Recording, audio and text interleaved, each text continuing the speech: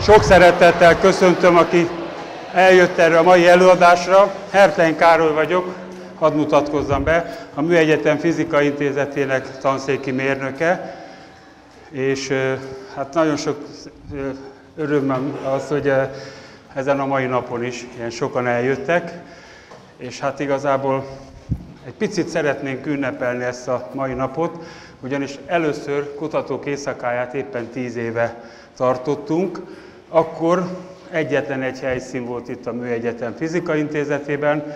Annyit szeretnék elmondani, hogy miközben egy picit leveszem a hangerőt, annyit szeretnék elmondani, hogy az első előadás nem egyedül a Fizikai Intézet rendezte, hanem közösen rendeztük a Puskás Tivadar Távközlési Technikummal, illetve a Minden Tudás Egyetemével.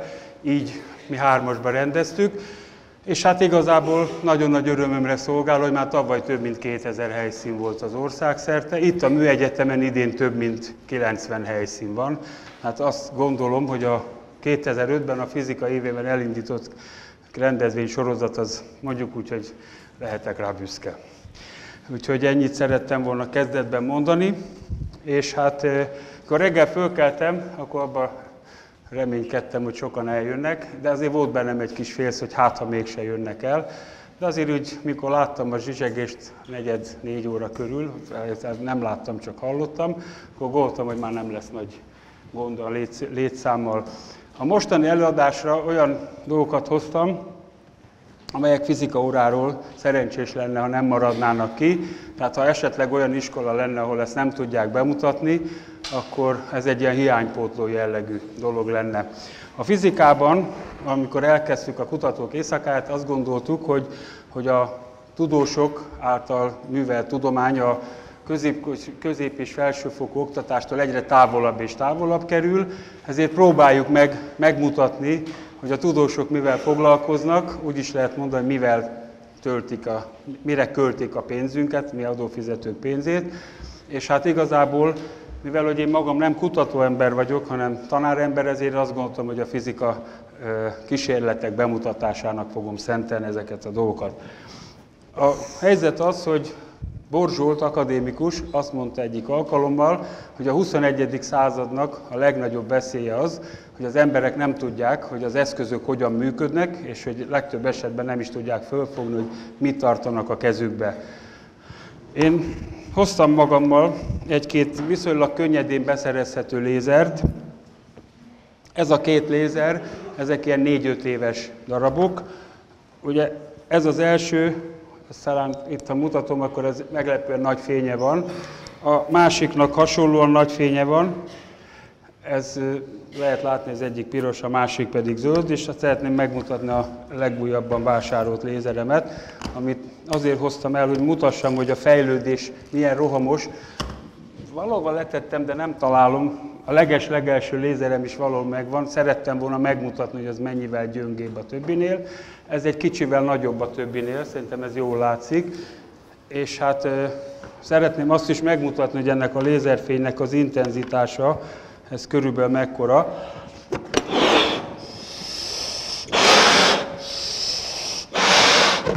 Tehát azt fogjuk hogy ezt én ide lerakom ezt a léggömböt, mondjuk így ide, és akkor egy keveset rávilágítunk, és megnézzük, hogy mi történik.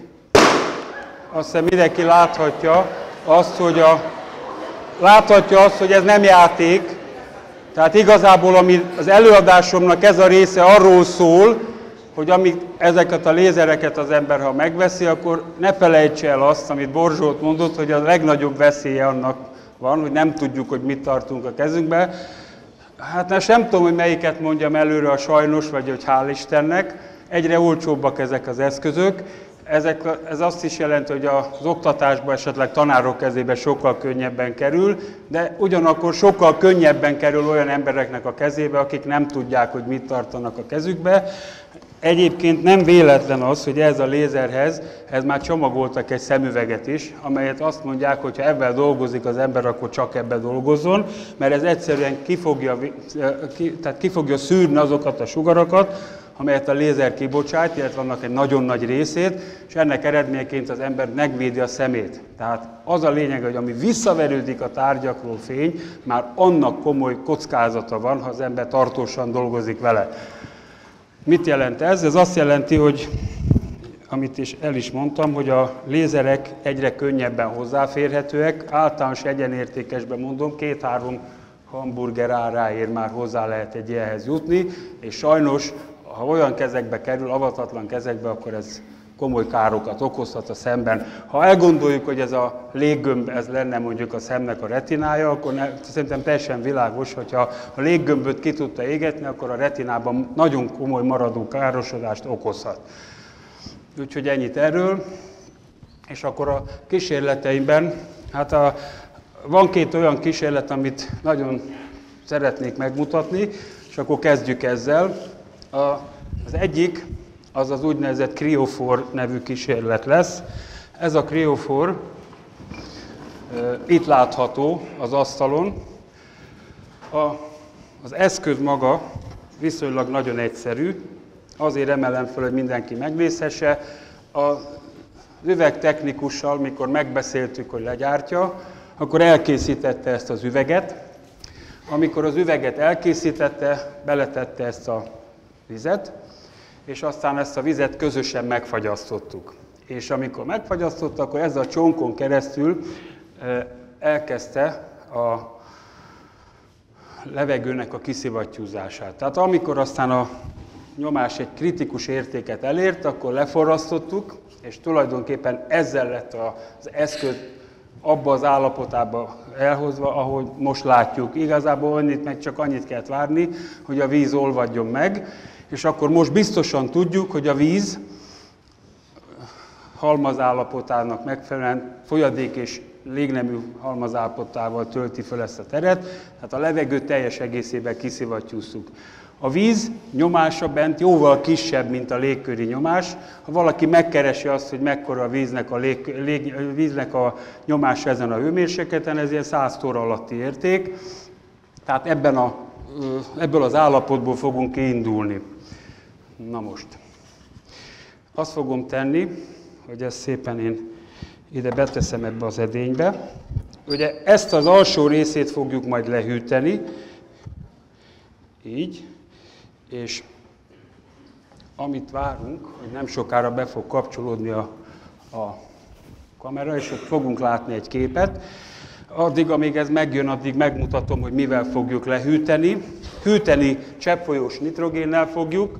A cseppfolyós nitrogénről annyit kell tudni, hogy a levegő egyik alkotójának, a nitrogénnek a folyadék halmazállapotú részemre fogunk hűteni.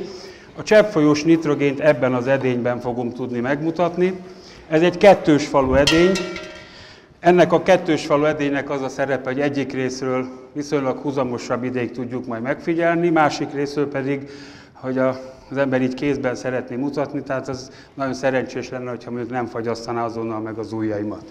Tehát azt kell eldönteni, azt kell megoldanunk, hogyha belülre mínusz 196 Celsius fok hideg folyadékot teszünk, akkor bizony a húzamosabb idő után is még kézbe lehessen tartani. Hát gyakorlatilag hőszigetelésről kell beszélnünk. A hő háromféle módon terjedhet. Az egyik terjedési módja az, hogyha veszünk egy anyagot, itt van mellettünk a anyag, az egyik végét melegítjük, a másikat például tartjuk egy hőmérsékleten, akkor ki fog alakulni egy olyan, hogy ezen a ponton átvesz a környezet hőmérsékletét, és hogy haladunk a másik fele, vége felé, egyre kisebb és kisebb lesz a hőmérséklet.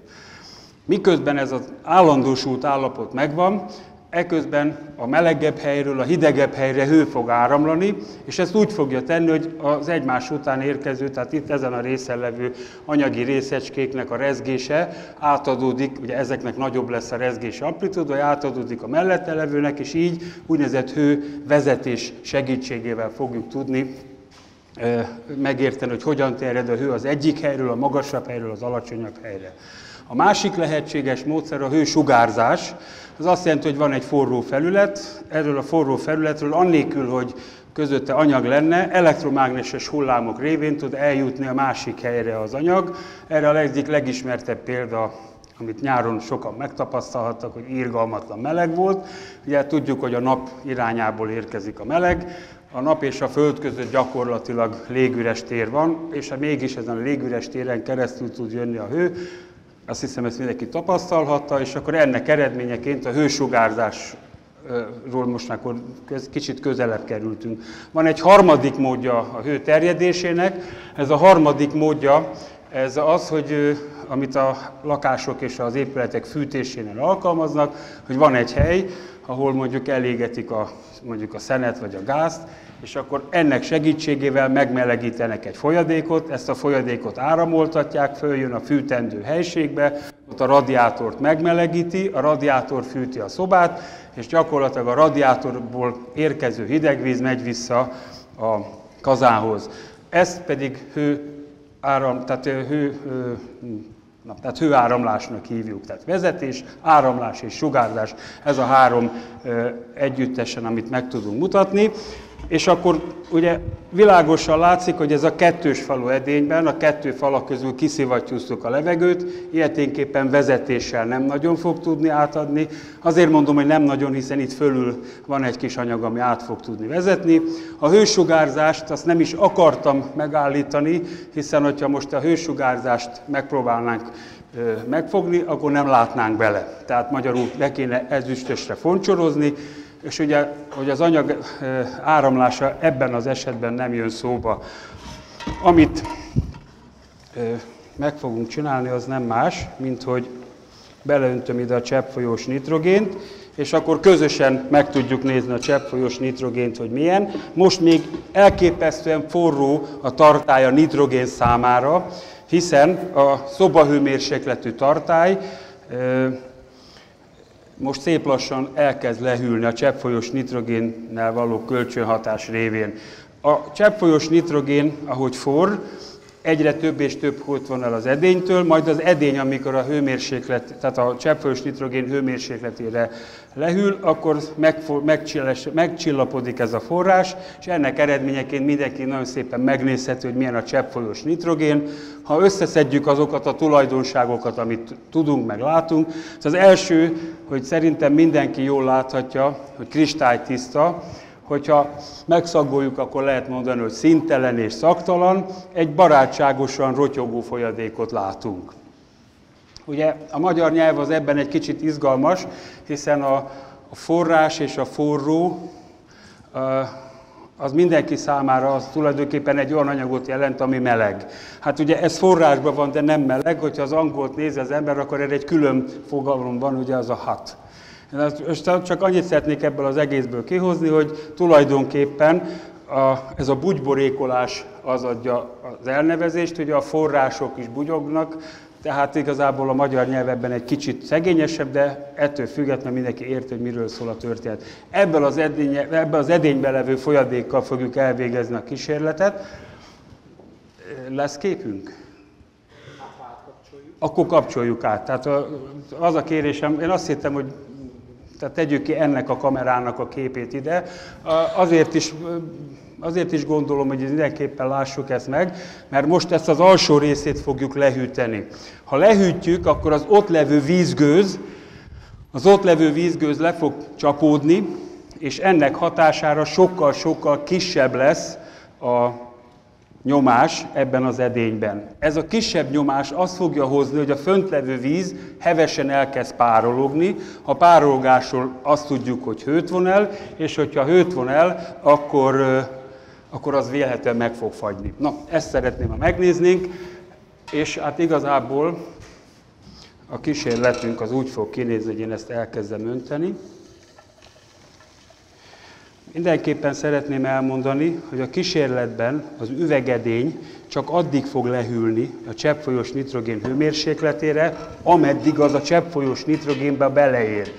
Az a része ott fölül, itt fölül, ez természetesen szobahőmérsékletű, és amit kell nekünk látni, az az, hogy még most lötyög ez a folyadék, és ahogy ez lötyög, itt a közelülők láthatják, hogy elkezd itt párásodni, és a párásodás révén rájövünk, hogy ez elkezd hűlni. És ahogy hűl és hűl, egyszer csak azt fogjuk látni, hogy szép nagy kristályok fejlődnek, éppen ott látszik, és ezek a kristályok megfagyasztott. Tehát ez azt jelenti, hogy megfagyott az anyag, egy olyan halmazállapot változást láttunk, amit úgy hűtöttünk le valamit, hogy lecsökkentettük a nyomást, ennek hatására hevesen elkezdett párologni, a párolgás hőt von el, és ennek eredményeként, hogyha én ezt most innen leveszem, szerintem jól lehet látni, ez tényleg megfagyott. Ugye ezt hiszem, ez teljesen világos. A víz szoba, hőmérs, szoba hőmérsékletről indultunk, fölüle elszivattyúztuk az ott levő vízgőzt, és gyakorlatilag a pótlása révén mindig azok a részecskék, azok a molekulák távoztak el, amelyeknek a, a mozgási energiája, a sebessége a legnagyobb volt, és ennek eredmények, ami visszamaradt, az megfagyott. Hát most akkor, hogyha ezt a folyamatot megértettük, akkor ezt a folyamatot meg fogjuk nézni egy alacsonyabb hőmérsékleten, és azt szeretném megmutatni, hogy ugyanezt a folyamatot el tudjuk végezni a cseppfolyós nitrogén segítségével is.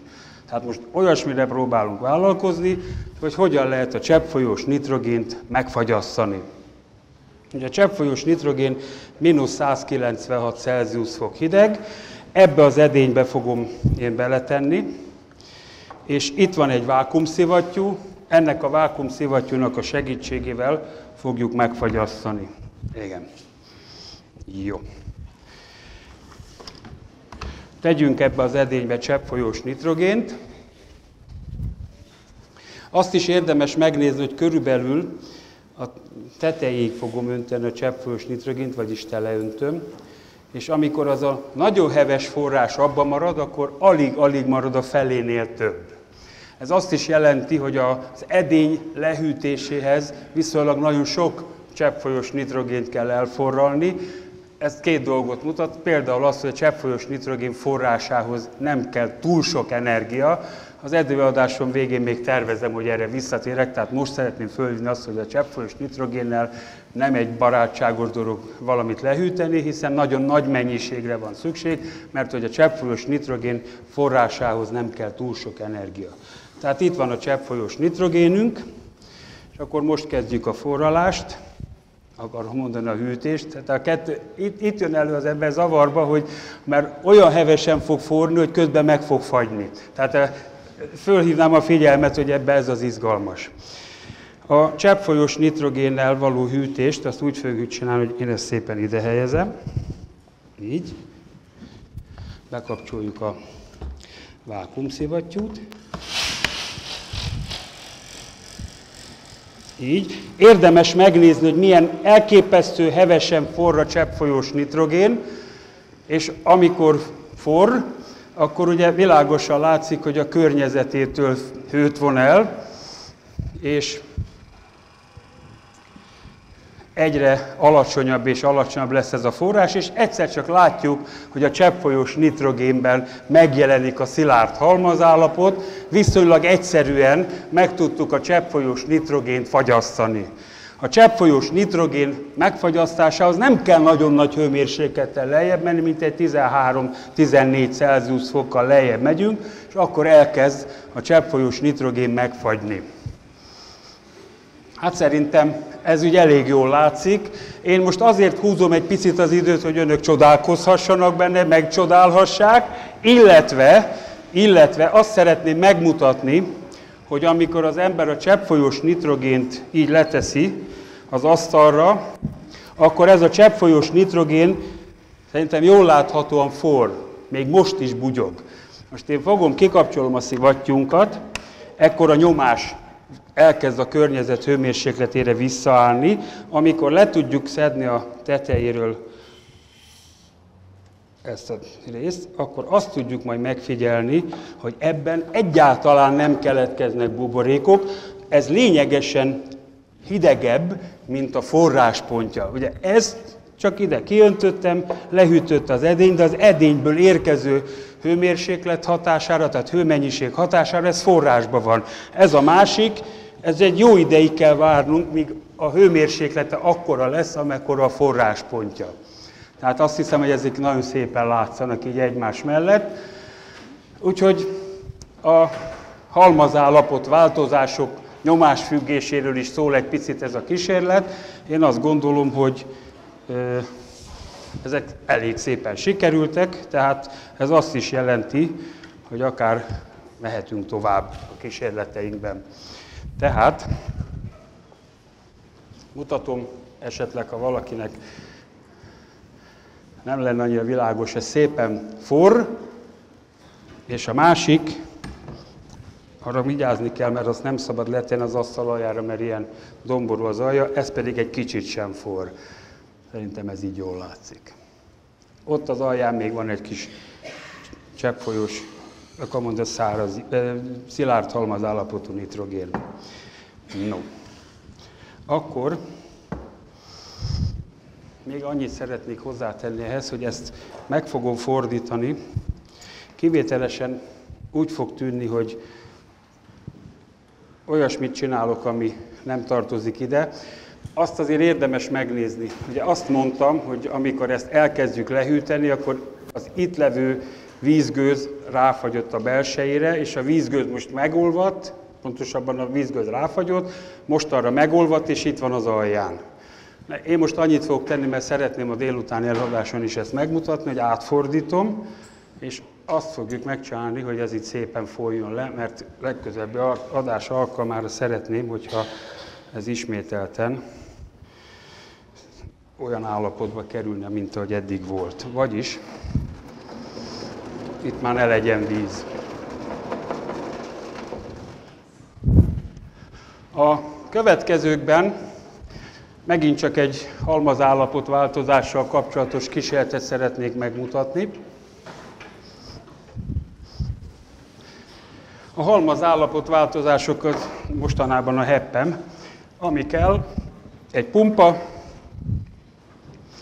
aztán szükségünk van egy pillepalackra, a pillepalackban pedig pillepalackba építettem egy dugót, a dugót átfúrtam, és egy ilyen szelep van hozzá kötve. A kísérlet, tehát azért mesélem el többek között ilyen alaposan, hogyha valakinek megtetszik, akkor meg tudja csinálni ő maga is. Tehát ez egy kosárlabdafújó, vagy egy focilabdafújó szelep, egy dugó, ezt szépen ide beteszem, és most elkezdem fölpumpálni. Amikor pumpálom, akkor ide légnyomást növekedést hozunk létre. Itt egy ilyen nyomásmérővel tudom kontrollálni. Körülbelül a levegőnek a nyomásának a kétszeresével fogjuk föltenni. Így. Így, megvan. És akkor most számolok háromig. Egy, kettő, három. És akkor itt van egy kis felhő. Itt a palacba zárt felhő. Ha ettől a felhőtől szeretnénk megszabadulni, akkor fogom, elkezdem fölpumpálni, és lássatok csodát, a felhő eltűnik.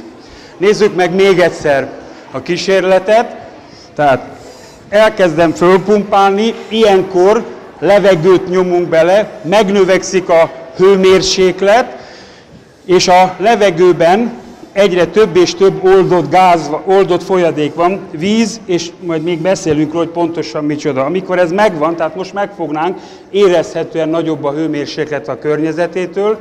Átlagban az emberek azt tudják, hogy a pumpa vége megmelegszik, de nem csak a pumpa vége melegszik meg, hanem mindenütt egyenletesen a gáz, és a gáztól fog megmelegedni maga a tartályunk. Egy, kettő, három és itt van a felhő bezárva a palacba. Ha még egyszer akarnánk kezdeni, akkor egy mozdulattal el lehet tüntetni. Mielőtt valaki megijed, és azt hiszi, hogy egy varázsló van itt, szeretném elmondani, hogy semmi varázslás nincs, ez csak fizika, és úgy is mondhatnám, hogy ahogy szoktam mondani, hogy a lelkemet nem adtam el az ördögnek, hogy sikerüljön, inkább fizika könyveket olvastam. Tehát még egyszer, nem is muszáj számolni hozzá, elég csak kihúzni a dugót, és íme itt van a palackban a felhő. Amit szeretnék elmondani, hogy akkor fog a kísérlet igazán jól sikerülni, hogyha egy kicsit jól párolgó anyagot teszünk hozzá. Én alkoholt tettem be az edénybe, és hát a gyakorlatilag az alkohollal ez a folyamat ez sokkal könnyedébben megy végbe. Tehát akkor ez a következő kísérlet. Amit szeretnék megmutatni, megint csak egy halmazállapotváltozás. Itt van egy palack, ez a palack meg van töltve egy gázzal, viszonylag nagy nyomás van ebben a gázban, hogyha megpróbálom én ezt összenyomni, akkor lehet látni, hogy alig-alig lehet ezt benyomni, tehát a, az én több mint egymásra súlyommal. Sem tudom összenyomni. Nem tudom, nézem, hogy ki van itt egy erős ember, mondjuk létszes, mutasd meg, hogy így fönt így, hogy mennyire lehet összenyomni, tehát igazából azt kell mondjam, hogy körülbelül akkora nyomás van benne, mint egy gépjárműnek a kerekében, nem sokkal kevesebb, és most egy olyasmire fogunk vállalkozni, ki is húzom magam, olyasmire fogunk vállalkozni, amit nagyon sokszor láthatok a televízióban, ilyen mentalista kísérlet lesz. A mentalista kísérlet abból fog állni, hogy fölkérek mindenkit, hogy gondoljon arra, hogy te palack, húzódj össze. Ez lesz a feladat. Amikor erre gondoltok, akkor kisugározzátok, nem jó? Torza hang. Megpróbálok egy kicsit visszavenni a hangerőből. Tehát, így most jobb. Dolgozzunk rajta, hogy jobb legyen a hangosítás. A következő 5 éves terve lehet, hogy meg lesz. Na, tehát, akkor azt szeretném elmondani, mentalista kísérletre készülünk, szeretném, hogyha összehorpadna az a palackot. Az kell, hogy mindenki segítsen engem a mentalista érzékeivel. Önök rám sugározzák, hogy palack horpadj össze, én pedig így fogok csinálni, és a palack össze fog horpadni. Világos? Kezdjenek el gondolkodni. Én azért annyit megteszek, hogy érthetőbb legyen a dolog, egy pici nitrogént öntünk alá, egy kicsi cseppfolyós nitrogén. Így. És akkor tessenek gondolni rá, én pedig fölveszem ezt a nézést, ez nagyon fontos, nézés nélkül nem ér semmit, és elkezdem összehorpasztani a palackot. Természetesen ez egy kis bolondozás, de azért annyit szeretnék hozzátenni, hogy amikor ezt a kísérletet látják, akkor érdemes elgondolkodni azon, hogy azok a televíziók, akik ilyen módon próbálják az embereket, hogy is mondjam, a józan útról eltéríteni, az kimeríti a bűncselekmény kategóriáját, az én megítélésem szerint. Én gyanítom, hogy előbb-utóbb meg fognak jelenni az ő jogászaik és ügyvédeik, de azért mégiscsak botrány, hogy egy televízió az emberek hűítésével foglalkozik. Itt van a palack. Ez a palack összehúzódott, hiszen ha egy halmazállapotváltozás egy gázhalmazállapotból folyadékba megy át, körülbelül az 1600-1800 részére megy össze, és ennek eredményeként az egy liternyi gázból egy 1800 liternyi folyadék keletkezett. Ez a folyadék, ez rövidesen látható lesz. A közelülők fogják látni, hogy amikor a környezettől átvett hő hatására az elkezd majd forni ez a folyadék, akkor ez a forrás, ez egyre nagyobb és nagyobb mennyiségű gáz fog e- eredményezni. Itt a folyadék, hát talán a tédevők, akkor itt talán látszik, hogy itt megjelent. Ha az ujjammal megfogom, akkor ez a folyadék, ez forrásban van. Itt az ujjam környékén sokkal jobban form, mint bárhol másút, hiszen az ujjamtól sokkal több hőt kap, mint bárhol másút, és ennek eredményeként szép lassan fúvódik föl a környezet hőjétől egyre több és több hőt vesz át a környezettől, egyre nagyobb és nagyobb lesz benne a nyomás. Természetesen, hogyha segítünk ennek a folyadéknak, hogy igazi bioenergiával besugározzuk, tehát azt hiszem, akkor mindenki érti, hogy egyre gyorsabban és gyorsabban kapja vissza az eredeti állapotot, és amikor az edénynek a hőmérséklete ismét eléri a környezetnek a hőmérsékletét, a tanterem hőmérsékletét, akkor visszáll az az állapot, hogy már nem is nagyon lehet összenyomni. Tehát nagyon egyszerű kísérlet. Az a helyzet, hogy egy nagyon alacsony, tehát egy olyan folyadék van benne, amelynek a forráspontja mínusz fél fok, és ez az, tehát igazából nem szükséges a kísérlethez cseppfolyós nitrogén, ha valaki pontosan tudja, hogy mit kell használni, én elmondom, de az a lényege, hogy főleg hogyha fiatalabbak akarják megismételni, akkor mindenképpen felnőtt segítségét kérjék. Ebbe az a gáz van benne, amivel az öngyújtókat is működtetjük, ebbe bután gáz van benne, az körülbelül ezen a hőmérsékleten, hogyha még az alján marad is egy kicsi, akkor olyan légköri nyomásnak a háromszoros a nyomás lesz benne a palacba, amit simán kibír a palack. Egyedül egy dologra kell figyelni, hogy a bután az egy éghető gáz, és hát igazából, ha lehet, akkor inkább szabadtérben kell a töltést elvégezni, hát vagy mindenképpen egy felnőtt segítségét illik ehhez kérni. A következő kísérlet az egyik kedvenc kísérletem lesz, az a kísérlet, amely arról szól, hogy nézzünk meg egy pillepalac, hoppá, kicsit ragad itt az egy ponton, az ujjamhoz hozzáragad. Tehát itt van ez a pillepalack, itt van ez a dugó, és egy kis cseppfolyós nitrogén lesz, amit még fogunk használni. A cseppfolyós nitrogénből egy keveset öntök ebbe a palackba, így. Hát körülbelül azt hiszem látszik, hogy ott az alján ott van a cseppfolyós nitrogén, és az is látszik, hogy hevesen forr a cseppfolyós nitrogén.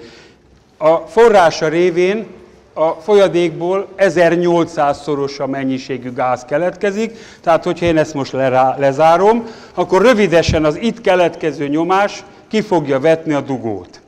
Ehhez nem kell sokat várni, az, ha esetleg nem vetnék ki a dugót, akkor kicsit távolabb megyek, meg még távolabb. Tehát a helyzet az, hogy mindjárt ki fog ugrani.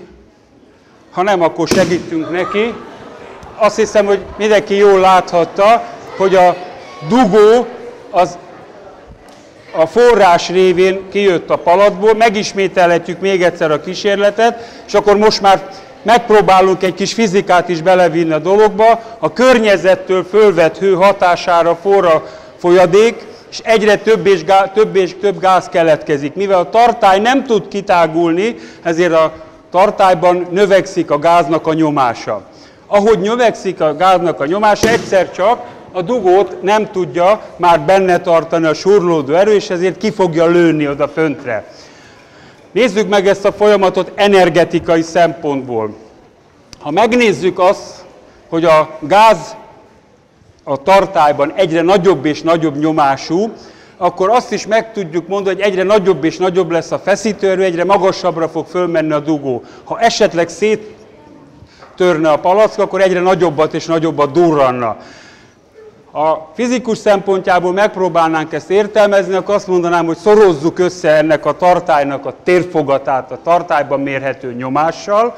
Ugye a térfogatot köbméterbe mérjük, a nyomást az pedig newton per négyzetméterbe. Ha a kettőt összeszorozzuk, akkor newtonszor méter lesz, amit egyébként erre itt az intézetünkben úgy is mondhatnánk, mi felénk az, az energia mennyiségének zsúlnak hívunk. Tehát az első lépésben tapasztaljuk azt, hogy van egy térfogati, vagy ha úgy tetszik, nyomási munka. A következő pillanatban, amikor ez elszáll, akkor a dugónak sebessége lesz, annak a dugónak, amelynek a kísérletünk kezdetén nyugalomban volt, a sebessége nulla volt, és akkor ennek pillanatokon belül mozgási energiája lesz, egy-ketted emszer vénégyzettel lehet megtudni, és ennek is éppen zsúl lesz a mértékegysége. Ahogy a sebesség egyre jobban csökken és fölér a tetőpontra, és ott éppen nullává válik a sebessége, ott leírhatjuk ezt az energiát úgy, hogy m-szer g-szer h szorzattal, aminek hogy-hogy nem megint csak zsúl a mértékegysége, és ennek eredményeként azt látjuk, hogy nyomási energia, mozgási energia, helyzeti energia. És mindezt a környezet hőjéből jött, szedte össze. Következőkben a kísérletünket egy picit meg fogjuk változtatni, megismételjük majd megint, de egy kicsit másképp. Pótoljuk az elford cseppfolyós nitrogént, ide leteszem, beleteszem a dugót, megfordítom, és várunk egy kicsit, egyszer csak a pillepalack fogja magát, fölemelkedik. Köszönöm szépen. A pillepalac fölemelkedik, és lényegesen nagyobb sebességre fog felgyorsulni, mint a dugó. Ugye az a helyzet, hogy csak úgy halkan súgom meg, hogy nem az első nyomot találjuk ott fönt, tehát ezt a kísérletet nem most mutatom be először. No tehát, hogyha mindjárt, ha megengeditek, akkor elmondanám, hogy mit láttunk pontosan. Azt láttuk, hogy a cseppfolyós nitrogén keletkező gázok lényegesen nagyobb sebességre gyorsítják föl ezt a palackot, és ezt azért teszi, mert, és akkor most kéne mondanunk valamit. Az a kérésem, hogy próbáld meg a kezedbe venni ezt a két edényt, vagy ezt a két tárgyat, és a nehezebbiket emelt föl, amiknek nagyobb a súlya. Hát a dugónak nagyobb lesz a súlya, vagy ha úgy tetszik, nagyobb tömegű, akkor tulajdonképpen nagyjából azt mondhatjuk, hogy kezdjük megtalálni azt az okot, hogy vajon miért lett ennek nagyobb a végsebessége, a kisebb tömegűnek nagyobb lesz a végsebessége. De azért, hogyha azt kérdezném, hogy sokkal könnyebb volt ez? Nem. Ugye ezt határozottan mondhatjuk, hogy nem, akkor viszont valami másnak is kell még lenni, nem csak az, hogy ennek kisebb a tömege, hanem az is, hogy ennek a folyamatnak még valaminek kell lenni. Na nézzük meg pontosan, hogy mit is tudunk mondani. Hát azt tudjuk mondani, hogy amikor én beleteszem a cseppfolyós nitrogént, itt van az alján, beletesszük a dugót, akkor a kilövés pillanatában a cseppfolyós nitrogén nyugalomban marad. Nyugalomban marad az edény is, meg a nitrogén is. A dugó repül el egyedül. A dugónak a gyorsítása körülbelül itt befejeződik, mert amikor már kellően távol van a, a palaszol, akkor a kiáramló gázok nem tudják tovább gyorsítani. Amikor beleteszem a cseppfolyós nitrogént, lezárom dugóval és átfordítom, akkor az történik, hogy itt van a dugó alul, ide kerül a cseppfolyós nitrogén, és amikor ez elszabadul, akkor először hátra löki a dugót, aztán hátra löki a cseppfolyós nitrogént, és még ki fog áramlani a nagynyomású levegő, tehát egy három fokozatú rakétát készítettünk. Ettől lesz egy ennyivel gyorsabb.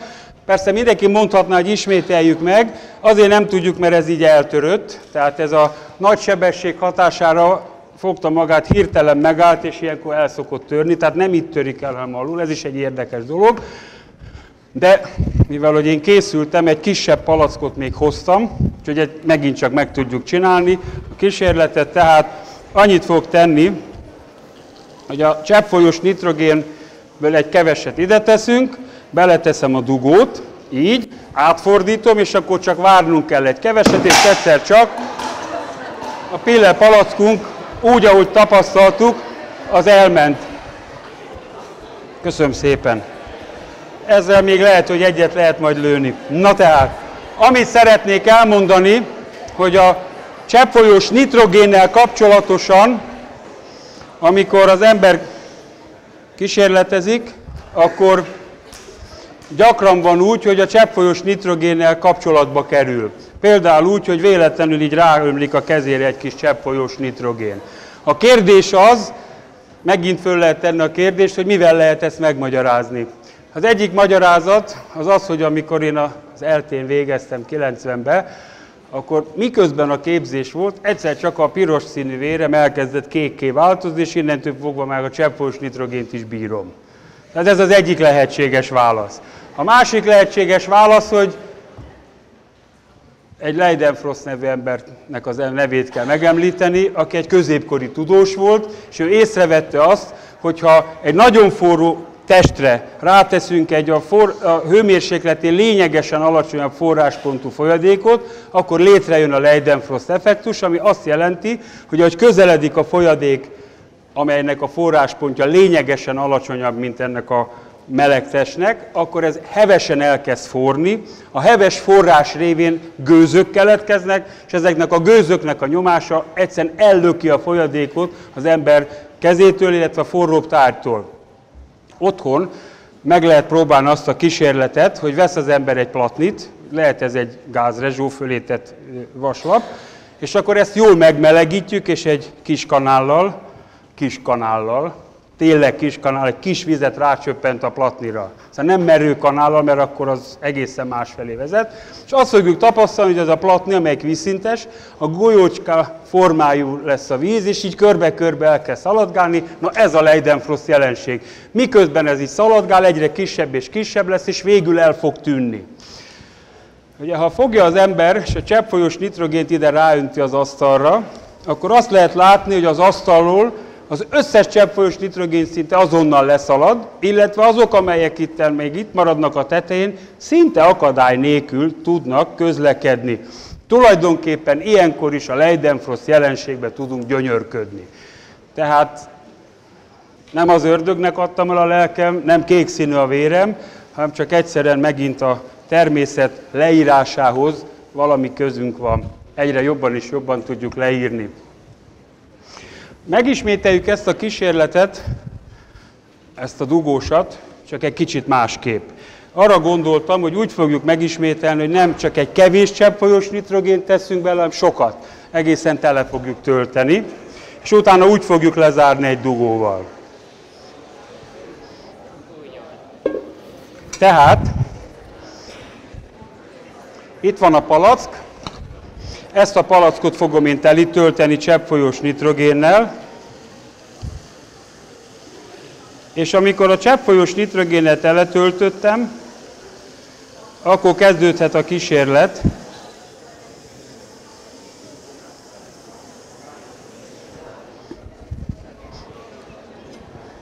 Na, még egy keveset. Hölgy. Tehát ahogy ígértem, megint csak egy dugóval fogjuk ezt majd lezárni. Így. Szerintem mindenki látja, hogy tele van. Jöhet a dugó. Ehelyett a dugó helyett egy olyan dugót fogok választani, ami ugyanekkor a méretű, csak át van fúrva egy csővel. Tessék figyelni, amikor a cseppfolyós nitrogént fogom. Így, így. No, tehát, tehát, akkor ebből a kísérletből azt lehetett megállapítani, tehát ebből a kísérletből azt lehetett megállapítani, hogy az energia átalakulási folyamat talán most még látványosabb lett, hiszen amikor a dugóval lezártuk az edényt, akkor a dugóban dugó által lezárt dug, akkor már nem tudott a gáz szabadon eltávozni, és ennek a folyadéknak a felületére hatott a, a nyomás, és ez a kis csövön keresztül nagyon nagy sebességre fölgyorsította itt a cseppfolyós nitrogént. Tehát ez azt jelenti, hogy a nyomás energia úgy szintén megvan, mozgás energia megint megvan, a helyzeti energia úgy szintén látható volt, és amikor visszajött az alsó részre a cseppfolyós nitrogénből keletkezett gáz, akkor mindenki megtudhatta, hogy a környezet hőjéből vette az energiáját ez a szép folyamat. Na kérem.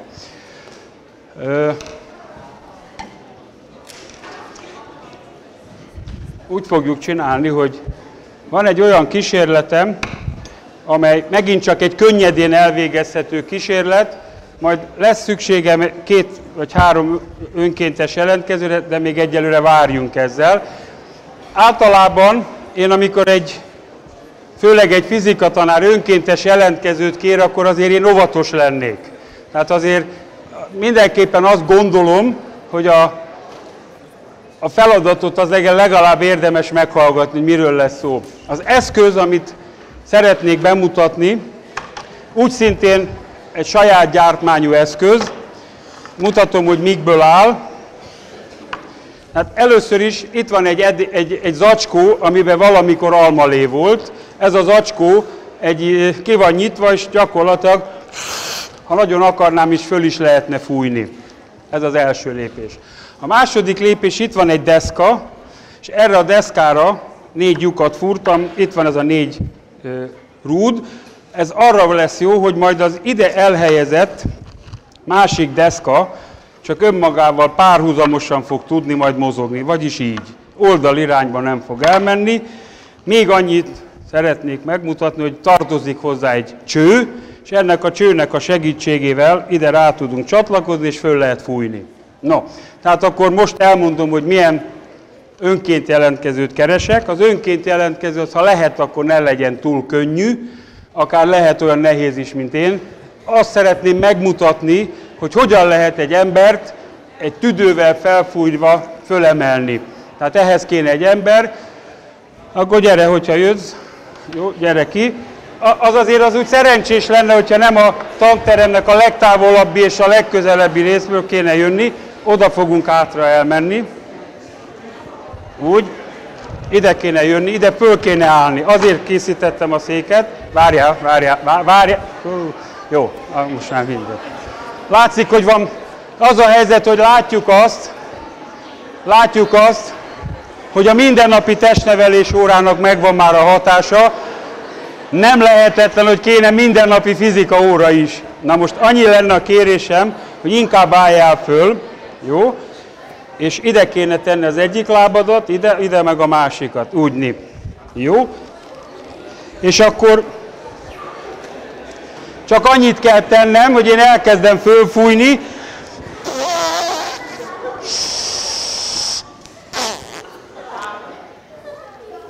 Azt hiszem nem vita a kérdés, hogy sikerült fölemelni. Az lenne a kérdésem, hogy van-e valaki, aki még kijönne és odaállna ő mellé? Gyere. Úgy. Ide föl kéne állni. Oké. Okay. Hát, ha kettő, kettőket együtt is föl lehet emelni, akkor próbáljatok meg egymás mellé állni. Így.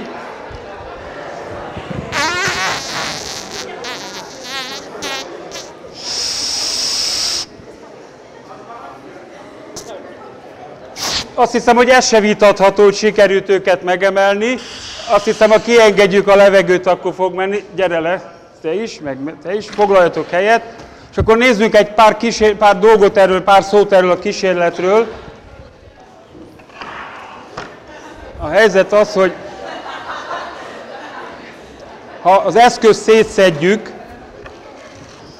és ismételten megnézzük, akkor én úgy kezdenék hozzá a fizika módjára szeretném megmagyarázni, hogy először is lemérném ennek a hosszát, meg ennek a hosszát, és kiszámolnám, hogy mekkora ez a felület, ahol ez a nyomás fog hatni. Nem nagy nyomás az emberi tüdőnek a, az emberi tüdő által kifejthető nyomás, hiszen ha belegondolunk abba, hogy másfél méter mélyre az ember lemegy a víz alá, akkor másfél méterről már nem lehet tüdővel levegőt venni, tehát ha lenne valakinek egy snorkerje, ami másfél méter hosszú lenne, már akkor se tudna levegőt venni, hiszen az ott levő víznek a hidrosztatikai nyomása ellenében a tüdejét az ember nem tudja kitágítani.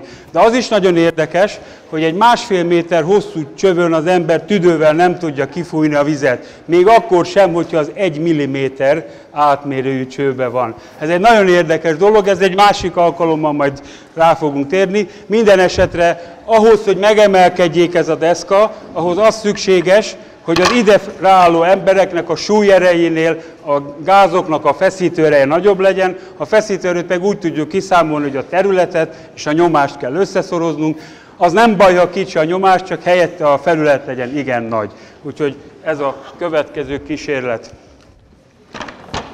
Most, hogy kiszuszogtam magam, szeretnék megmutatni egy olyan kísérletet, itt ebben a kísérletben, aki még emlékszik, hogy azt csináltuk, hogy a környezet hőjéből csináltunk munkát. Nézzük meg, hogy ez visszafelé is működik-e.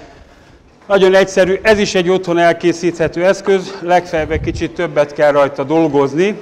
Maga az eszköz itt látható, ez egy fából elkészített, illetve egy darab madzagból elkészített eszköz, és ez úgy fog működni, hogy itt van az a deszkán ezen egy lyuk, és ezt fogom, fölhúzom, és akkor ezzel a mozdulattal egy ilyen lentkereket működtetünk, pillanat, és hogyha megfelelően odafigyelünk,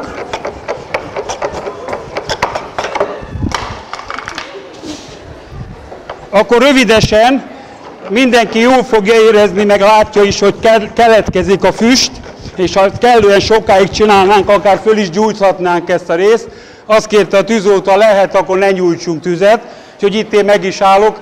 Tulajdonképpen, ha másból nem, a szuszogásomból lehet tudni, hogy mechanikai munkát végeztem.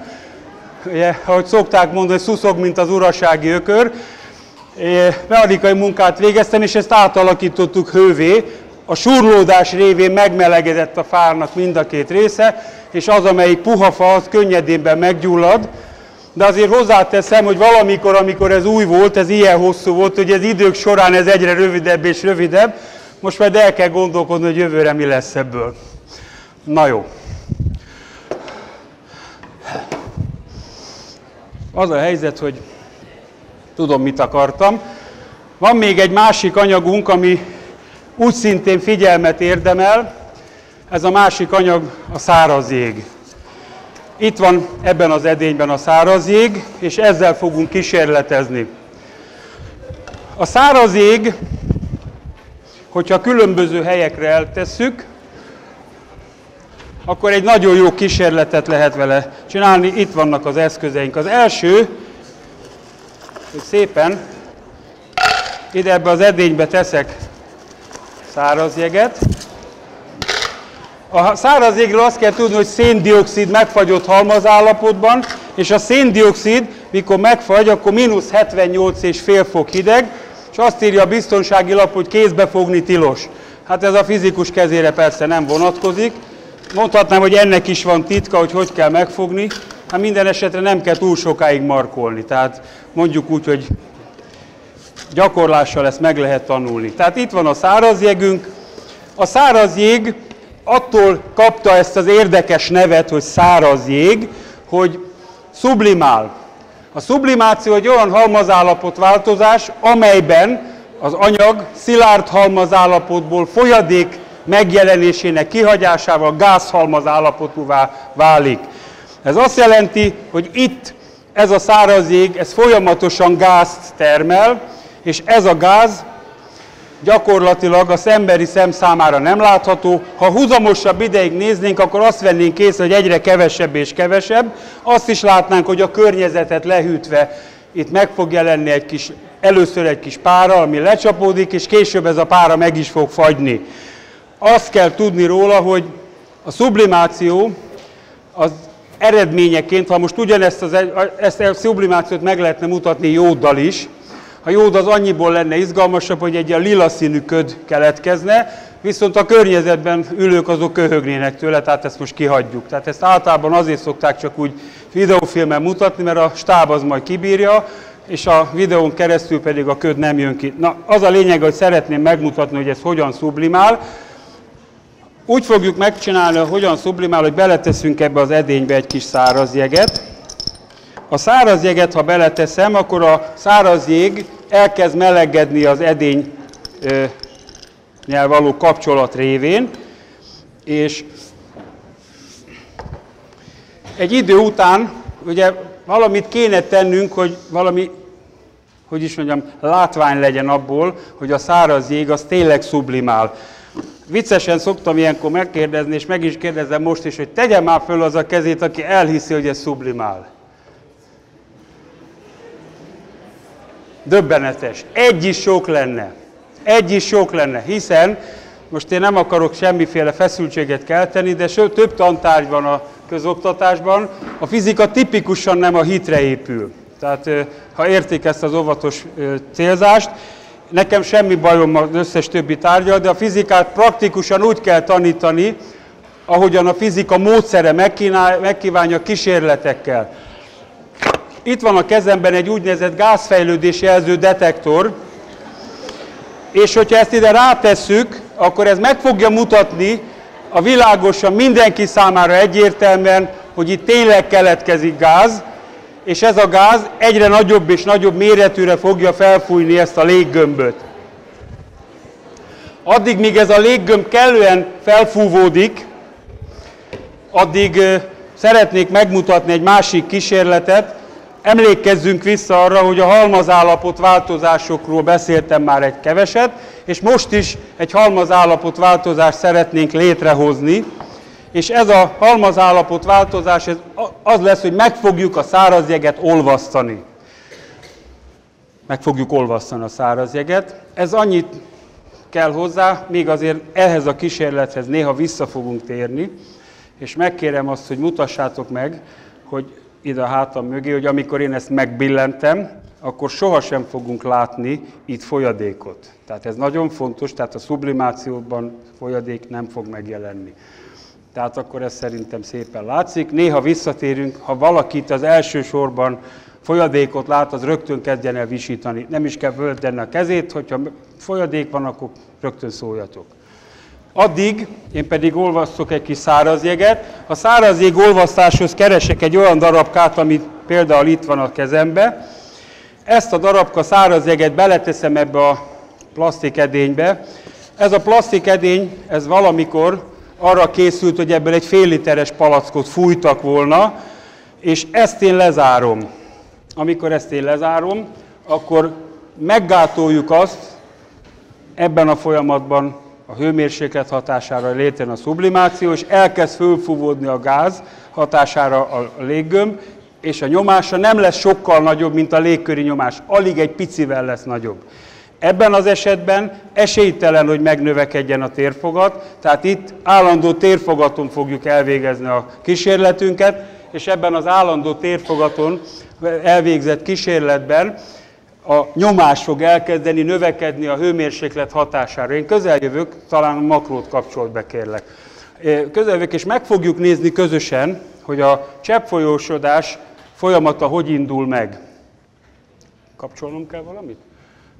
Aha, helyes.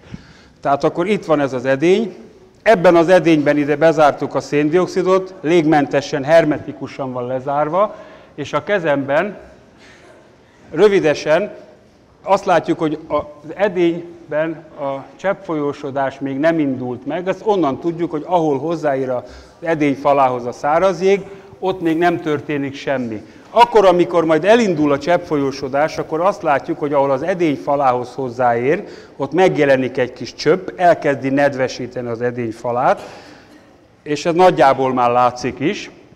És ez az edényfala, hogy elkezd nedvesedni, el, azt fogjuk látni, hogy rövidesen elkezd lefelé folyni egy kis folyadék.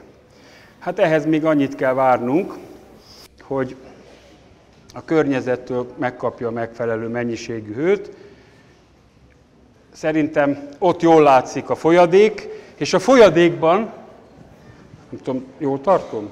A folyadékban, imittam, ott azt is látjuk, hogy bugyborékolás van.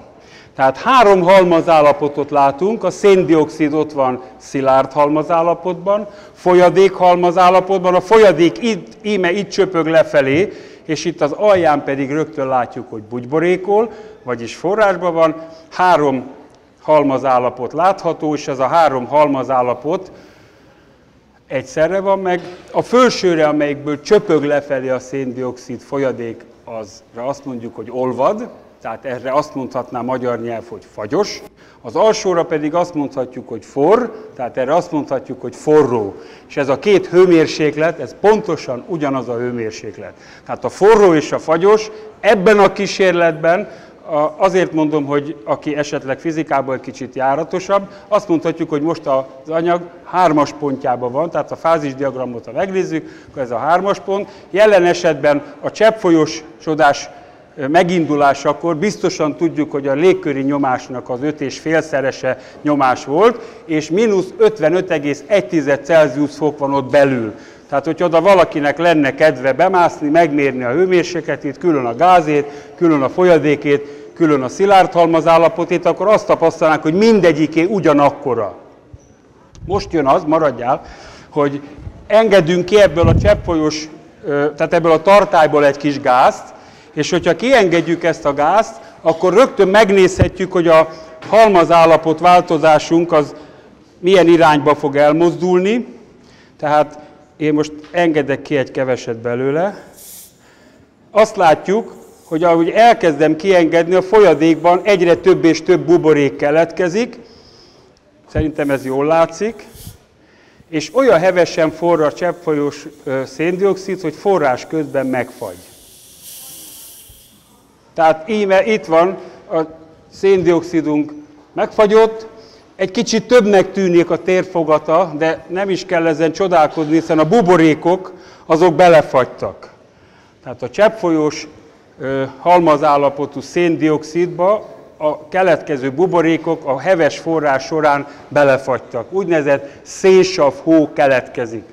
Ez a szénsav hó térfogatára egy kicsit nagyobb, az albedója fényvisszaverő képessége sokkal jobb, és hogyha megnézzük, akkor azt lehet tapasztalni, hogy most, amikor elzártam az edényt, folyamatosan törölgetni kell, hiszen az edény, amikor elzárja az ember, akkor a hőmérséklet hatására, ugye ez elébb lehűtöttük, akkor itt ez lehűlt, és folyamatosan le kell törölgetni róla a párát. Tehát gyakorlatilag azt fogjuk látni, hogy a hőmérséklet és a nyomás megint csak növekszik, és amikor ismét elérkezünk a hármas pontba, akkor elkezd megolvadni a széndiokszid és a megolvadása révén, hát megint csak azt láthatjuk, hogy halmazállapot változása olyan, hogy itt, itt ott egy-egy csöpp megjelenik, itt az alján, ha megtörölgetjük, akkor látjuk, hogy már forrásban is van a folyadék, és hogyha egy pillanatra idejövök a másikhoz, akkor azt látjuk, hogy ez folyamatosan keletkezik a gáz,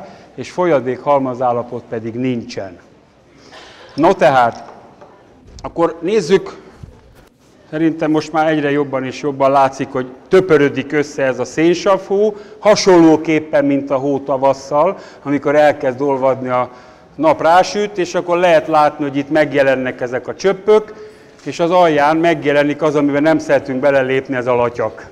Tehát tulajdonképpen nagyon hasonlít a, a természetben megfigyelhető jelenségekkel. Hát amint látják, szerintem ez nagyon szépen látjátok, ez nagyon szépen mutatkozik. Most lehetőség nyílik arra, hogy ismét megnézzük, hogy forrás közben hogyan fagy meg a széndiokszid. Engedünk egy kis gázt, hevesen forr, és olyan hevesen forr, hogy forrás közben meg is fagy. Íme. Itt van. Én kinyitom, mert ugyanis azt tudni kell, hogy amikor a hármas ponton túlmegyünk, bocsánat, hogy tényleg porózus, azt szerintem meg tudom nagyon szépen mutatni, hogy el lehet porítani, tehát a szénsavú az tényleg olyan lesz, amilyen. Azt még tudnunk kell erről az egészről, hogy a,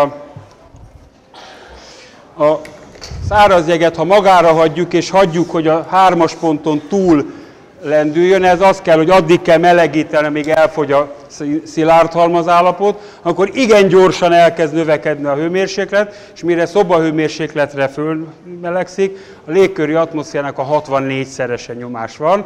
Ha ez így lenne, tehát hogyha eltűnne a szilárd halmazállapot, akkor én valószínűleg befeküdnék az asztal alá, és mindenkit ugyanerre biztatnék, hát rövidesen fölrobbanna a tartály legalábbis ez a műanyag tartály. Vannak olyan tartályok, mint például a tűzoltó tartály, ahol 64 atmoszférás nyomással jön kifelé a széndiokszid, mikor azzal oltanak. No, akkor azt hiszem, hogy ez szépen látszik, hogy ez a száraz jég, ez hogyan sublimál, és hogy közben nem nagyon fog megolvadni, illetve azt mondhatnám, hogy egy picit sem, egy szemernyit sem olvad meg. Most szeretnénk megnézni, hogy mi van akkor, hogyha lehűtjük a széndiokszidot, és ez a hűtés ez úgy fog történni, hogy cseppfolyós nitrogén van ebbe az edénybe, még egy keveset öntünk alá, és akkor ebbe az edénybe beleteszem a cseppfolyós nitrogénbe a léggömböt, pontosabban a lombikot, és rajta a léggömböt. Amit látni fogunk az az, hogy a cseppfolyós nitrogén elkezdi lehűteni a lombikot, a lombik fala, amikor lehűl mínusz 78,5 fok alá, abban a pillanatban elkezdődik a sublimációnak a megfordulása. Akkor gázból szilárd halmaz állapot fog keletkezni. Mondhatnánk, hogy ez egy reverzibilis folyamat, de azért csak annyira reverzibilis az alakja a széndiokszidnak, nem ilyen rudacskák lesznek, hanem föl fogja venni az edény alakját. Tehát most már szerintem jól lehet látni, hogy egyre kisebb és kisebb a léggömb, vagyis azt jelenti, hogy a gázfejlődés jelző detektorunk elkezd összehúzódni. Egyre kisebb és kisebb, most gáz eltűnés jelző detektor lett belőle. Na most, várunk még egy keveset, esetleg meg lehet próbálni meggyorsítani ezt a folyamatot azzal, hogy öntünk alá még egy kis cseppfolyós nitrogént. Tulajdonképpen azt is meg fogjuk tudni mutatni, hogy a cseppfolyós nitrogén, ameddig beleér a cseppfolyós nitrogén az üveg, ameddig beleér, addig fog lehűlni, ugyanis az üveg nagyon rossz hővezető, és éppen ezért pontosan csak addig és nem tovább fog lehűlni, ameddig a cseppfolyós nitrogénbe beleér. Vagyis a, ha ez az edény ez üvegből, vagy alumíniumból lenne, akkor jóval nagyobb lenne a felület, ami lehűlne. Az üveg esetében azt hiszem ez, ez nagyon jól látszik, hogy eddig és nem tovább. No tehát, rövidesen el fog tűnni a, a léggömbünk térfogata az eredeti méretére fog összehúzódni, egyre kisebb és kisebb lesz. Érdemes kivárni, tehát igazából azt fogjuk látni, hogy a léggömbünk pontosan úgy viselkedik, ahogy azt mi szeretnénk. Megfordítottuk a folyamatot, most a környezettel való termikus kölcsönhatásból most vonunk el belőle energiát, ilyeténképpen egyre kisebb és kisebb lesz a gáz hőmérséklete, aztán amikor eljön ez az idő, akkor fogja magát, és a gáz szilárd halmaz állapotúvá válik. Az eredeti térfogatának az 1800 ad részére húzódik össze, és ha emlékszik valaki, hogy hogyan indítottam el a kísérletet, és beletettem a száraz jeget, addig vártam, amíg a száraz jégből keletkező széndiokszid teljes egészében kiszorította a levegőt, és ekkor húztam rá a lombikot, és ezzel úgy ki lehet bélelni a lombikot, ahogy sehogy másképpen, ezt csak fizikus módra lehet így kibélelni, a közelülők szerintem nagyon jól látják, hogy teljesen úgy béleltük ki, hogy sehol nincs egy pici gáz sem. Ugye, ha beletennénk a léggömbbe a lombikot, és ott fújnánk fel, akkor ez bizony nem menne. Tehát e, ez egy ravasz módszer, úgy is mondhatnánk, hogy mi fizikusok már csak ilyenek vagyunk. No, most azt fogjuk csinálni, hogy magára hagyjuk ezt a léggömböt, meg ezt a lombikot, rövidesen visszatérünk hozzá, de addig, amíg visszatérünk, addig e, egy következő kísérletet szeretnék megmutatni. A kondenzációs folyamatok még továbbra sem maradtak el, éppen ezért, épp, ja tudom, itt van, éppen ezért egy olyan eszköznek a bemutatása következik, amit talán többen láttatok már. Általában a háztartásokban ilyen elő szokott fordulni, tejavízet szoktak benne forralni, de lehet, hogyha Nescaféhoz kávévizet is forralni benne. Ez lesz a főszereplőnk. Ennek a segítségével fogunk csinálni egy folyadékot, és akkor nézzük meg, hogy pontosan lépésről lépésre mit teszünk. Ugye ide betesszük a cseppfolyós nitrogént ebbe az edénybe, ezt már egyszer tettem, és a cseppfolyós nitrogént megvárjuk, míg lehűti az edényt. Ha lehűtötte, akkor megnézzük a cseppfolyós nitrogén állagát még egyszer. Emlékeztető mondom, hogy szintelen, szaktalan, békésen, barátságosan rotyogó folyadékot kell, hogy lássunk, azok után, amikor ez a folyadék forrása megcsitul. A közelülők talán még azt is láthatják, hogy van egy pont, ameddig nedvesíti, és aztán van egy pont, amikor már nem nedvesíti a, a, az üvegedényt. No, tehát itt van a cseppfolyós nitrogén, még egy kicsit hevesen for. Nos, azt fogjuk tenni, hogy cseppfolyós nitrogénből öntök én ide bele ebbe a kannába egy keveset, így, és most ezt a nitrogénes hűtésű teáskannát fogjuk megvizsgálni közösen. Szerintem mindenki jól látja, hogy a teáskanna hogyan rotyog, és egyszer csak azt fogjuk észrevenni, hogy a teáskannának az oldala meg fog nedvesedni. Én hallgatom, hogy mikor fog megnedvesedni, és a fülemmel hallom, most kezd itt alul, és egyre följebb és följebb, körülbelül pont addig fog megnedvesedni, ahogyan a cseppfolyós nitrogén ameddig áll benne. Itt szépen látszik. Ha megnézzük ezt, akkor a teáskannánkról folyik lefelé egy folyadék, és ezt a folyadékot fogjuk mi fölfogni, tehát azt hiszem jól látszik, hogy itt van a teáskannánk megnedvesedve, ha egy kicsit így oldalvást mozgatom, akkor lehet látni, hogy itt egy folyadék folyik lefelé, ebből a folyadékból fogunk egy keveset összegyűjteni. Amíg ez a folyadék gyűlik itt ennek a teáskannának a felületén, addig megbeszéljük, hogy pontosan mit látunk. A folyamat nagyon hasonlít bizonyos tekintetben a pálinka főzésére. Ugyanis a pálinka főzésénél is azt csináljuk, hogy a gőzökből, a keletkező gőzökből azokat fogjuk kiszűrni hűtés hatására, ami számunkra fontos. Ugye a cefréből a pálinkát szokás kifőzni, mi pedig a környezetben található levegőből azt fogjuk kifagyasztani, amelynek a forráspontja magasabb, mint a cseppfolyós nitrogénnek a forráspontja. Ha valaki előveszi, közben érdemes oda is nézni egy kicsit, megint csak megfordult a a sublimáció folyamata. Tehát tulajdonképpen az történik, hogy ugye csepög lefelé ez a folyadék, és akkor ez a folyadék a levegőnek az egyik alkotó része, a levegőnek azt az alkotó részét sikerül ebből kiszedni, amelynek a hőmérséklete, a forráspontja magasabb, mint a cseppfolyós nitrogéné. Ugye 77 Kelvinen forr a cseppfolyós nitrogén, amit most el tudunk érni, az éppen 83 Kelvinen forró folyadék, és ez pedig az oxigén. Tehát itt tulajdonképpen a levegőnek egy alkotó részét kondenzáljuk le, ha úgy tetszik, desztillálunk egy kis cseppfolyós oxigént, ennek a desztillációnak az eredményeként azt hiszem nagyon jól látjuk, hogy a folyadékunk egyáltalán nem kristálytisztán átlátszó, és az is nagyon fontos, hogy nem is forr, hiszen az elébb cseppfolyós nitrogénnel hűtöttük 77 kelvére, így ennek nincs oka, hogy forjon, hiszen a forráspontjánál lejjebb található ez a hőmérséklet. Mutatom, tehát hogyha egy oldalvást elmozdulok, akkor szerintem imittamot látszik, hogy egy folyadék folyik lefelé, és ez a folyadék ez így szaporodik és szaporodik. Íme itt van, hogy ez tényleg oxigén, ezt pedig úgy fogjuk kimutatni, hogy hoztam egy mágnest,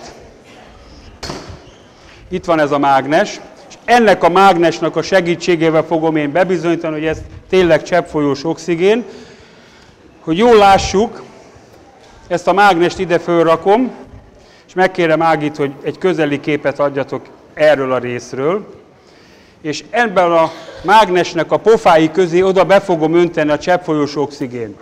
A cseppfolyós oxigén, az, hogy valaki megkeresi a lapját, mondjuk a Wikipédián, akkor meg lehet állapítani, hogy a cseppfolyós oxigén az egy paramágneses folyadék, ami azt jelenti, hogy a mágneses térbe, ha odaöntjük, akkor az ott meg fog maradni. Na nézzük, hogy pontosan hogyan.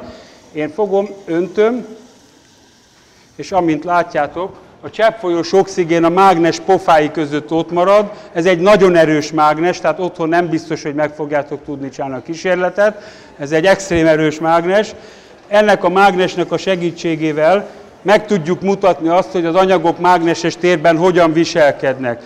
A mágneses tulajdonsága az oxigénnek az szerintem jól látszik, és ellenpróbaként megpróbáljuk majd nem sokára beönteni a cseppfolyós nitrogént is, ennek hatására látjuk, hogy a cseppfolyós nitrogén az másképpen viselkedik, az úgy viselkedik, hogy a,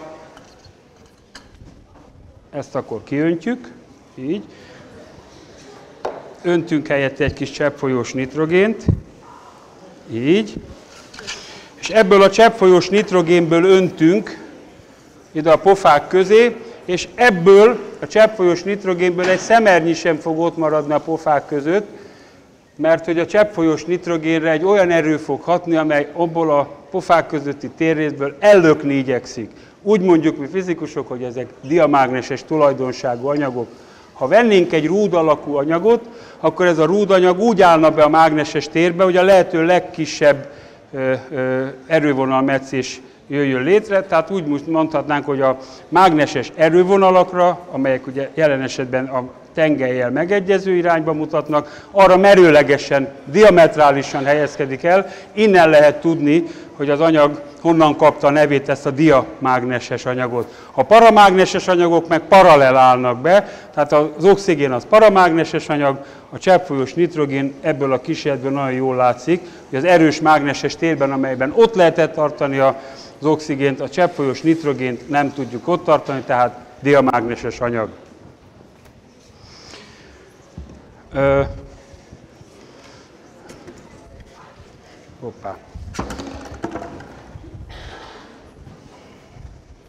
Igen.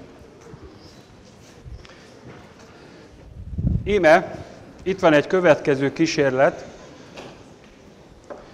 ez egy mágnes, akarom mondani, bocsánat, a kezemben van a mágnes, ez éppen egy résztömb, és erre a résztömbre, illetve a mágnesre lesz szükség ahhoz, hogy a kísérletünket be tudjam mutatni. Tehát, hogy ne zavarjanak ezek a dolgok minket, ezeket szépen elhelyezem innen, tényleg mágnes. Tehát a mágnesünket itt az asztalnak ezen a helyén ebből a magasságból így lejtem. Szerintem mindenki látja, hogy engedelmeskedik a földvonzás törvényének, és szépen lehúl. Koppan egyet az asztalon. Ha itt ejtem le, ebben az esetben ez egyáltalán nem akar lekoppanni, sőt úgy is vehetjük észre, mintha egy ilyen sűrű folyadékba mézbe lenne beletéve. Jól lehet, ez a folyadékot nem látjuk. Valójában nem is a folyadékról szeretnék itt beszélni, hanem van itt egy olyan hatás, hogy annak a mágnesnek az erővonalai ebben egy változást hoznak létre, és ennek a változás révén ebbe elektromos áram fog indulni, és ez az elektromos áram, ez tulajdonképpen a mágnes mozgását gátolni igyekszik. A Lenz törvény azt mondta, hogy az indukált áram az mindig olyan irányú, hogy az őt létrehozó hatást gyöngíteni igyekszik. Meg lehet mutatni úgy is, hogy megpróbálom eldönteni, akkor ez szép lassan fog így elbillenni. Így. A kísérletünk további részében szeretném megmutatni, hogy ha lehűtjük ezt a ö, rezet, akkor ez a hatás, ez lényegesen erősebb hatás lesz, vagyis a réz, miközben lehűtjük a cseppfolyós nitrogén hőmérsékletére, ide bele fogom tenni ezt a rézdarabot, miközben ide lehűtöm, hogy aközben azt fogjuk tapasztalni, aközben azt fogjuk tapasztalni, hogy megváltozik a réznek a vezetőképessége. Ez azt jelenti, hogy ugyanakkor a indukció hatására, ugyanakkor a fluxusváltozás hatására nagyobb lesz az ott ébredő áram. Ha nagyobb lesz az ott ébredő áram, akkor lényegesen nagyobb lesz a fékező hatás. Hát addig, amíg ez a hűlés ez le, kialakul, addig azért én valami kísérletet még azért fogok mutatni, mert hogy ez a hűlés ez elég hosszasan fog tartani.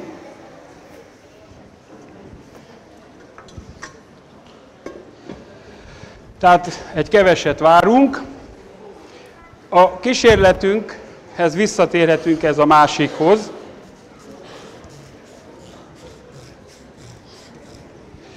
Kísérletünkhez visszatérhetünk, tehát tulajdonképpen a levegőből ide lecsapódott ö, jeget, tehát először párat csapódik le, utána jég keletkezik, és ezt a jeget én megpróbálom minden ledörzsölni, hogy meg tudjuk még jobban mutatni, hogy folyadék nem keletkezett. És hát ezzel fogunk egy keveset kísérletezni. A kísérletnek az lesz a lényege, hogy egy ugyanakkora méretű léggömböt fogok fújni, mint amekkora ez. Tehát láttuk, ez széndioksziddal van felfújva, ezt én ezt a léggömböt megkötöm,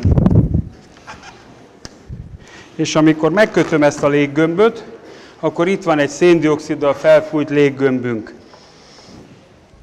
Ezek után fújjunk föl egy másik léggömböt pontosan ugyanekkorára tüdővel.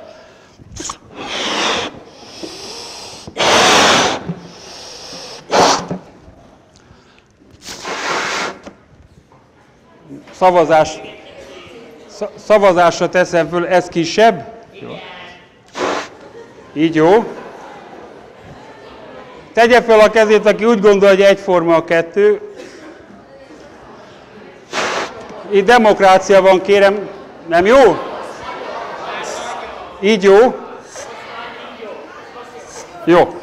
Akkor most megkötöm, és két azonos méretű léggömbön van. Az egyik az levegővel van felfújva, a másik széndiokszid, tehát a másik széndioksziddal, és tulajdonképpen el fogjuk végezni Galileinek az ejtő kísérletét. Megnézzük, hogy a testek azonos sebességgel esnek é a gravitációs térben, vagy sem. Mielőtt ezt elvégzezzük, azért én a cseppfolyós nitrogénből öntök egy keveset ide,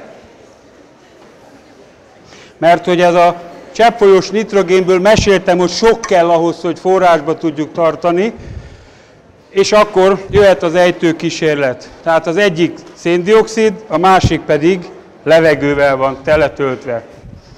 Azt fogom tenni, én ide szépen fölállok, így, ebből a magasságból fogom lejteni a kettőt, és ha minden igaz, akkor az egyik, meg a másik is elkezd gyorsulni.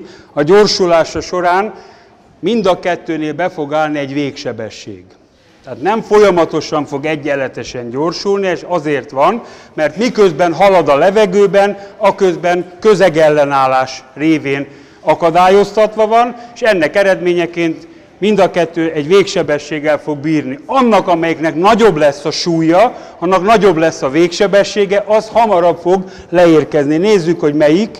Szerintem nagyon határozottan jól látszik, hogy a bal jobboldali, a jobboldali az sokkal hamarabb leért, és ennek az a magyarázata, hogy a széndiokszid, ami benne volt, molekulája nagyobb, ezért aztán az egész gömbnek, léggömbnek nagyobb a súlya, talán megnézhetjük még egyszer, most már senki nem tudja, hogy melyik melyik, de pillanatok alatt eldönthetjük, hiszen, hiszen az, amelyiknek nagyobb lesz a sebessége, a végsebessége, az a, szár, az a, az a ö, széndioksziddal megtöltött. Most jön az, most jön az, hogy ezt a léggömböt amelyik száraz jéggel van. Le fogjuk hűteni, mégpedig nem akár mivel, cseppfolyós nitrogénnel.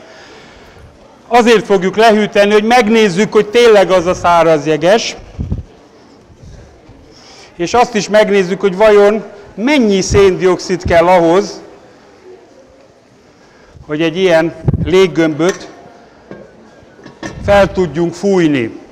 Tehát itt van a száraz éggel töltött, vagy a széndioksziddal töltött léggömb, amikor én ezt elkezdem leönteni cseppfolyós nitrogénnel, akkor rögtön látszik, hogy azon a helyen, ahol lehűl, ott egy fehér színű, vagy egy világosabb színű, szilárd halmazállapotú anyag jelenik meg, és hogyha egy picit csöndben maradtok, akkor már lehet hallani, hogy zörög, a sublimáció révén, vagy a fordított sublimáció révén szilárd halmazállapotú széndiokszid jelenik meg, és ez a szilárd halmazállapotú széndiokszid zörög ebben a léggömbben. Egyre több és több lesz. Rövidesen teljes egészében eltűnik a térfogata, és most azt fogom csinálni, hogy kitépem, kifordítom, és íme itt van a száraz jég. Ennyi száraz kell ahhoz, hogy egy léggömböt föl tudjunk fújni. Ha nagyon akarja az ember, akkor ezt a száraz jeget szépen fogja. Úgy, mint télen a fiúk, amikor a lányokat meg akarják dobálni, meg lehet gyúrni, csinálhatunk belőle egy kis hógolyót, és akár meg is dobálhatjuk valamelyik lány. Tehát nevet föl, kérlek nevet föl, hagyd ott, nagyon jó helyen van az ott. Tehát az a lényege a dolgoknak, hogy a száraz jég erre nagyon jó lesz. Na, nézzük, hogy áll a száraz jéggel való játék után, hogy áll a lehűtendő résztömbünk. A résztömbünk még mindig hevesen forralja a nitrogént, ez azt jelenti, hogy még egy kis nit- cseppfolyós nitrogént kell öntsek, pótolnom kell a hűtőanyagot, és ha jobb dolgunk nincs, akkor hűtsük le ezt a léggömböt is. Ugye ez a léggömb ez levegővel van felfűtve, és ennek eredményeként, ha ennek a hűtését elvégezzük, ez másképpen fog viselkedni egy kicsit. Ígyni. Nézzük meg, hogy ez hogy viselkedik. Ugye a száraz jég az mínusz 78,5 fokon szilárd halmaz állapotá vált, eltűnt az összes gáz, ezt jól láttuk. A cseppfolyós nitrogénnel, ha levegőt hűtjük, akkor egészen más fogunk tapasztalni, tehát egyáltalán nem találunk olyat, hogy zörögne.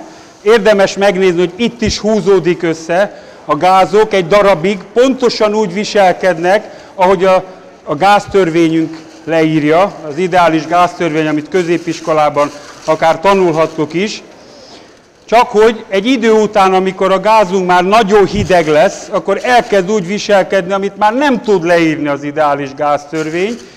Fogjuk látni, hogy a léggömbünk ugyancsak elveszítette a, a térfogatát, és hogyha most visszamelegítjük, akkor Zörögni nem zörög benne semmi, a léggömb anyag az izeg, azt hiszem ezt mindenki jól hallhatja, és rövid időn belül egy olyan, bocsánat, félretesszük, most történik meg a folyamat, lehet hallani, hogy iszonyatosan hevesen zúg-búg ez az anyag, azért, mert most omlik össze az a közeg, az a gőzbuborék, amely nem engedte a cseppfolyós nitrogént, hogy gyorsan hűtse le ezt a résztömböt. Szerintem nagyon szépen látszik az, hogy igen hevesen for, majd utána teljesen abba marad a, a forrása a, lég, a nitrogénnek. Ugye amikor én játszottam a teáskannával, ide tettem a fejemhez, és azt mondtam, hogy a fülemmel fogom meghallgatni, mikor nedvesedik, ezt a hangot kellett megvárni, mert ettől a hangtól, amikor ez megjön, pontosan időben utána keletkezik ez a jelenség. Az lecsapódik az oxigén ide.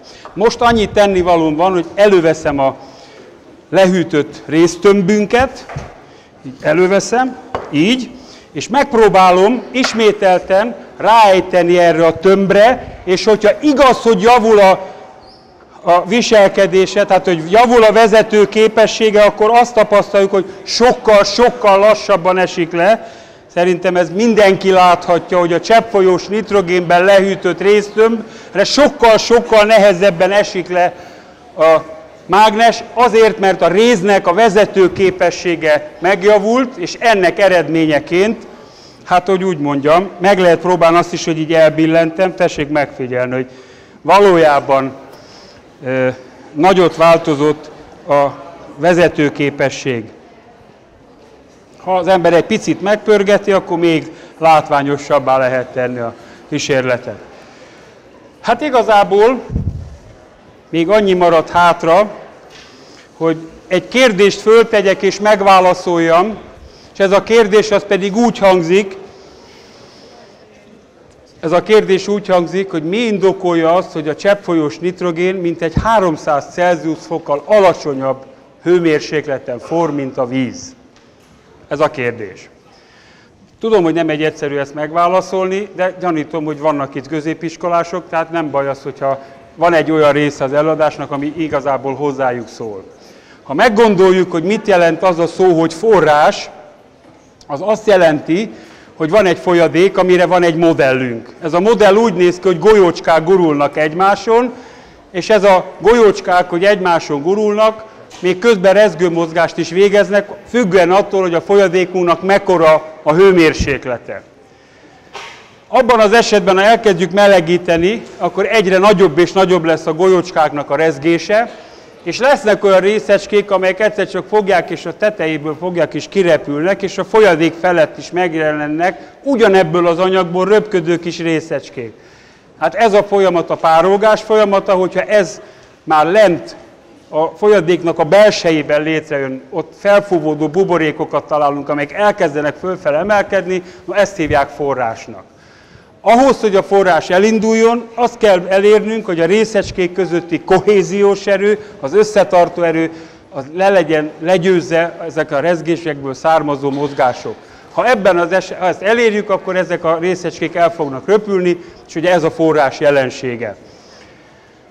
Az egyik folyadékunk, a cseppfolyós nitrogénről tudjuk, hogy szintelen, ugyanúgy szintelen, mint a víz, szaktalan, ugyanúgy szaktalan, mint a víz, kristálytisztán átlátszó, mint a víz. Azt is tudjuk, hogy a molekula méretük alig-alig tér el tömegben, molekula méretben. Nem, nem, lényegi különbség nincs.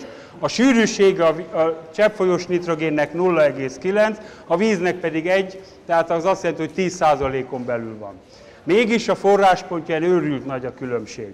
Ha valaki szeretné megtudni, hogy mi ennek a magyarázata, azt kell mondjam, hogy a magyarázat abban úgy lehet megmagyarázni, hogy a molekulának a szerkezetét kell megnéznünk. A cseppfolyós nitrogén molekulájában a pozitív és a negatív töltések tömegközéppontja ugyanoda esik, fizikus nyelven úgy mondjuk, hogy a molekula apoláris. A víznél ez nem így van, a pozitív és negatív töltések külön vannak, ezért ez molekulára mi úgy mondjuk, hogy dipólus molekula.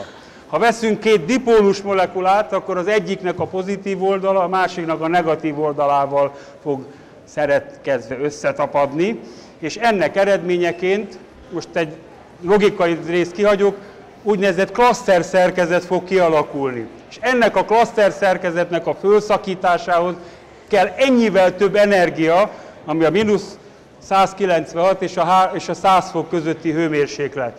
Na most ugye elég hosszasan és unalmasan beszéltem ahhoz, hogy ezt most, amit én elmondok, erről kéne nekem valami bizonyítékot adni. A bizonyíték pedig nagyon egyszerű lesz. A vízmolekulákból, amelyek dipólus molekulák, 60-80-100 darab molekula egy klasztert alkot, és ezek a klaszterek, ezek sokkal nagyobbak lesznek, mint azok a molekulák, amelyek a nitrogén molekulák, azok az individuálisan önállóan élő molekulák. Hogyan lehetne ezt bebizonyítani? Nagyon egyszerű. Az egyik, molek, az egyik szerkezet, ugye a klasszer az nagy, olyan nagy, mint mondjuk egy dió, a másik az pedig kicsi, olyan, mint mondjuk egy pici mákszem. Hogyan lehet a diót és a mákot egymástól külön választani, ez a kérdés. Tudom, hogy nem mindenki ismeri azt a filmet, amire most hivatkozni fogok, de tegye föl a kezét, aki látta, volt egyszer egy Vadnyugat című filmet. Jó, elég sokan látták, főleg az idősebb generáció. Ugye a, a film úgy kezdődik, hogy három gangster várakozik egy pályaudvaron, pontosan egy megállóban, és abban az egyik gangsternek a fején van egy kalap, és a kalapba pötyög bele a víz.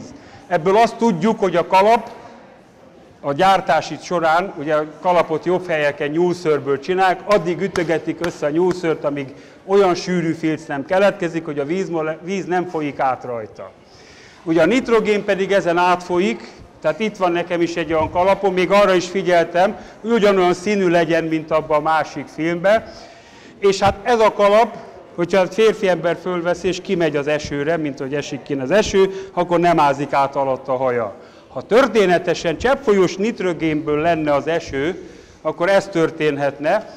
Tehát ez azt jelenti, hogy beleöntöm, tessék megfigyelni, hogy cseppfolyós nitrogén megy át a kalapon, akadály nélkül, azért a közelülőknek megmutatom, hogy egyáltalán nincs kilukadva a kalap. Olyan gyorsan átmegy rajta a nitrogén, hogy most már alkalmas arra, hogy megköszönjem a figyelmüket. Nagyon szépen köszönöm, itt a vége.